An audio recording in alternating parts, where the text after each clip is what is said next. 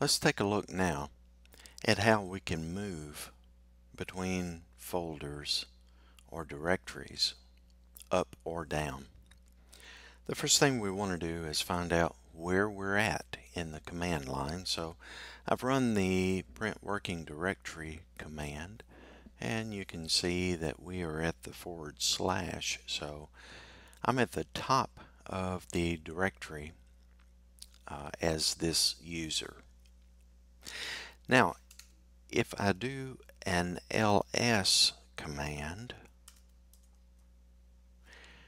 then I can see that I have my home directory right here and I know that beneath home is going to be my user WA under that is going to be the desktop and then the test folder and then inside the test folder I should find that text file Warren.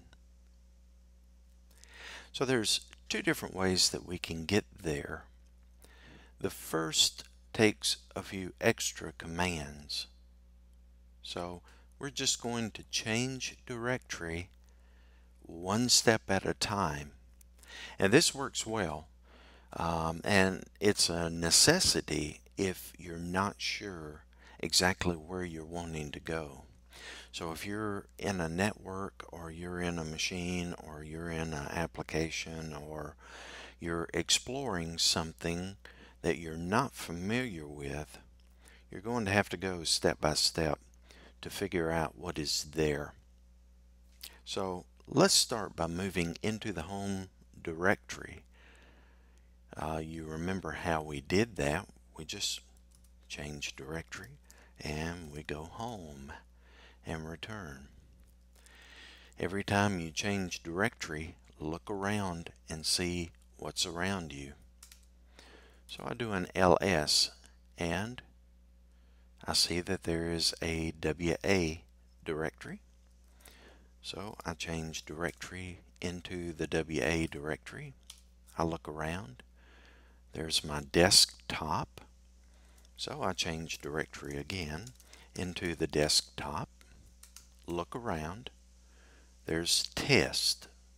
So at this point I've reached this folder right here. So I want to go into the folder, so I'll just change directory into test, look around, and there is Warren.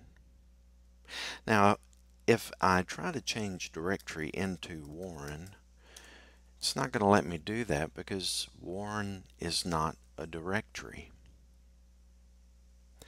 Now, how do I know that? if I'm not looking at this folder down here? Well, one way that we can do that is with our ls, but we really want to look at it as a list.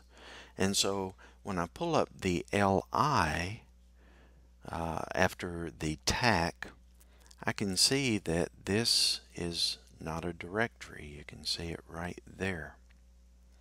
And then you can see the permission levels, and we're going to talk about those in a few minutes uh, in some uh, future uh, videos that we're going to do. So I know that this is just a file, and I can't CD into that. I can't change directory into that file but I'm really curious to see what is in the file itself. So if I type in Warren just by itself, it says command not found. Well, there's two different ways that you can get the information out of the file and into your command line prompt where you can actually read it and you can actually move that information, even create another file and copy that information into it.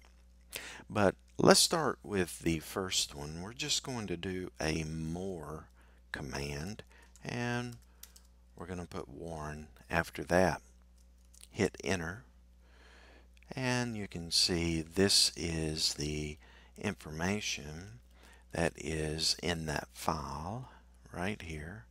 So what I did is I went to my website during the break and just copied some text and dropped it in there so we would have something to look at.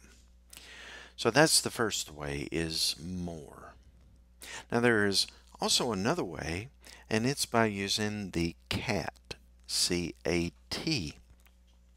And so if we use a cat command and we type in Warren, it's going to do the same thing. So you can see that the information that comes out of these files is the same.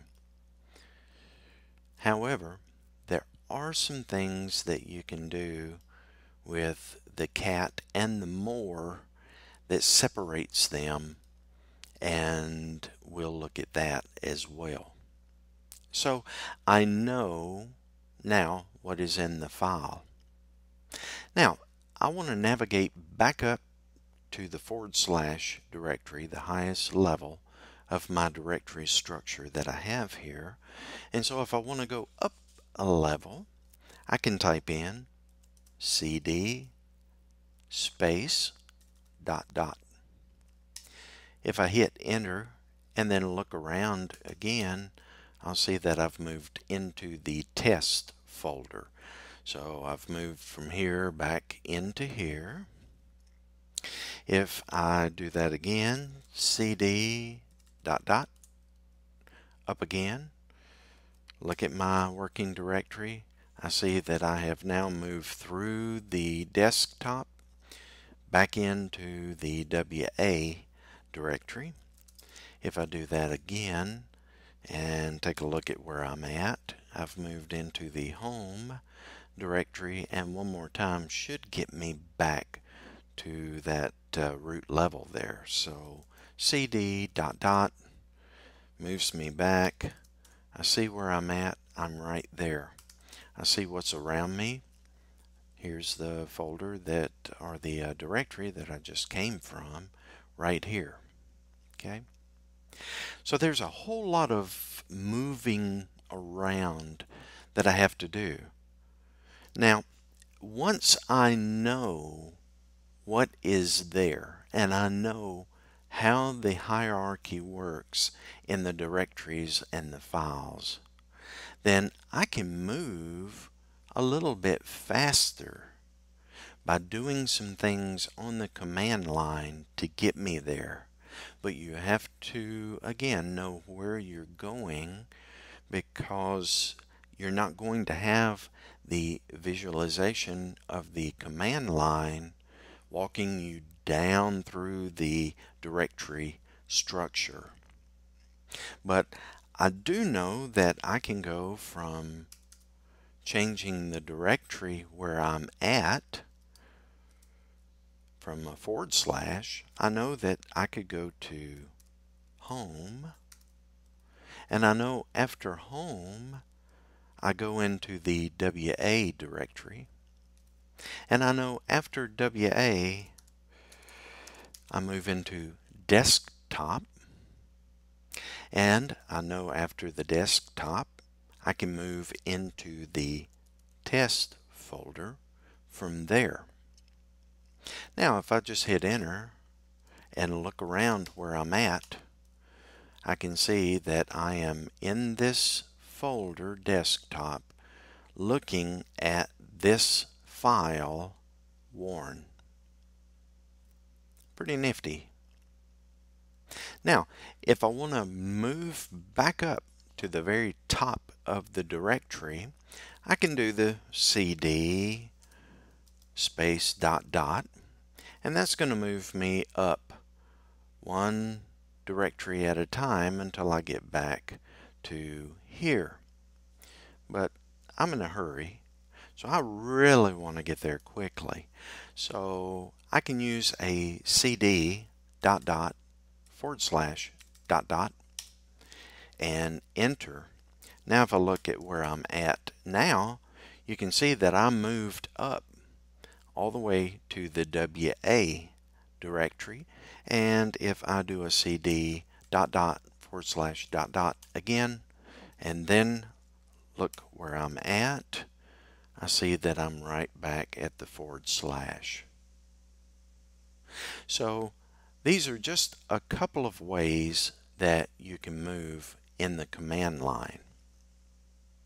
Now let's say that I want to look at the information that is in that Warren file and I've already been there once but I want to see the information without having to go through all of these directories. So the easy way to do it and I'll use the lazy way because I already have the command in here it was the way that we got there before forward slash home forward slash WA forward slash desktop forward slash test. That's going to put me in this folder, which is here, to now look at this file. But I want to actually see what's in it. I don't want to go into the test folder and then look at the information in here. So what I can do is I can do a forward slash from there and I can try to do a Warren and see what happens. Now you can see that it stops me at that point. So I can't really move any further down through the directory at this point. But what I can do is instead of changing directory, how about if I do a cat into that folder?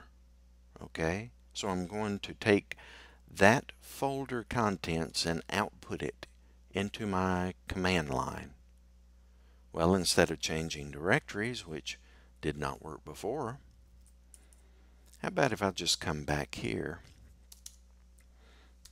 and I do a cat all the way to Warren. And there we have it. So you can see that by running the cat command all the way down through the directory hierarchy to the actual folder, I can see the information that is contained in the folder.